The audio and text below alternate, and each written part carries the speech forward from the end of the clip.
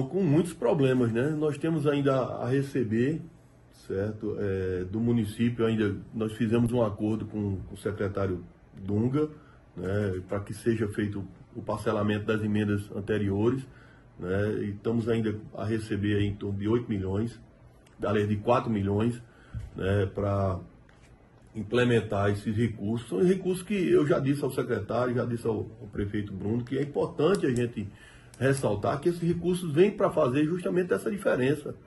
Né? Vamos dizer, uma, uma é, consulta médica de um especialista em oncologia, a FAP recebe 10 reais. Né? Quanto? 10 reais. Né? Uma consulta de um especialista em oncologia. É, aquela máquina de radioterapia, certo? Que injeta energia para é, é, acabar com o tumor, né? Cada sessão daquela é 30 reais.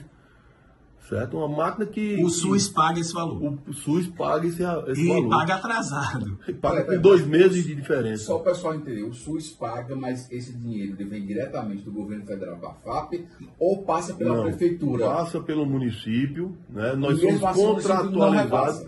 Não, não, o município está repassando com a defasagem de dois meses. E esses né? 4 milhões? Esses 4 milhões são de emendas parlamentares, hum. né? Que, como eu disse, ele vem Sim. para complementar o nosso custeio certo? Para que a gente possa botar a máquina para funcionar.